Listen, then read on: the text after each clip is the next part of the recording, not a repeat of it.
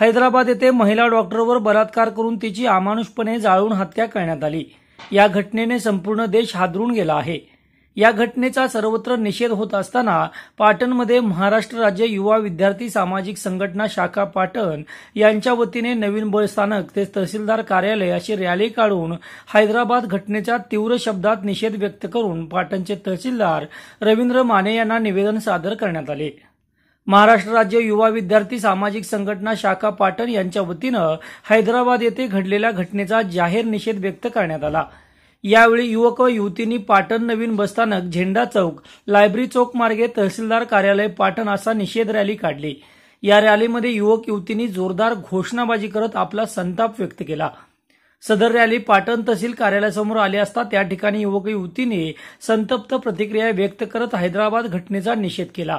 संघटनेचे संस्थापक अध्यक्ष शुभम उबाळे म्हणाले युवा संघटना कोणत्याही प्रकारच्या अन्यायाविरुद्ध आवाज उठवण्यासाठीच निर्माण करण्यात आली आहे.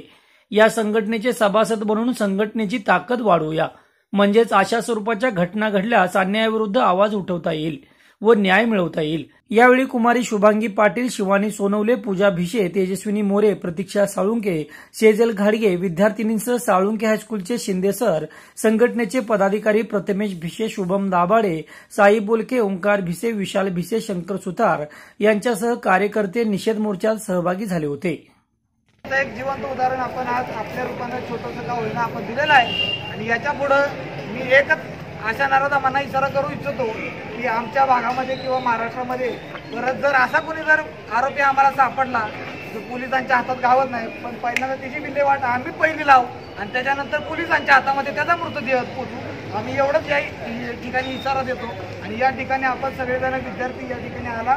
आणि छान असं सगळ्यांनी सहकार्य केलं. त्याबद्दल सर्वांचं एकदा आभार व्यक्त करतो.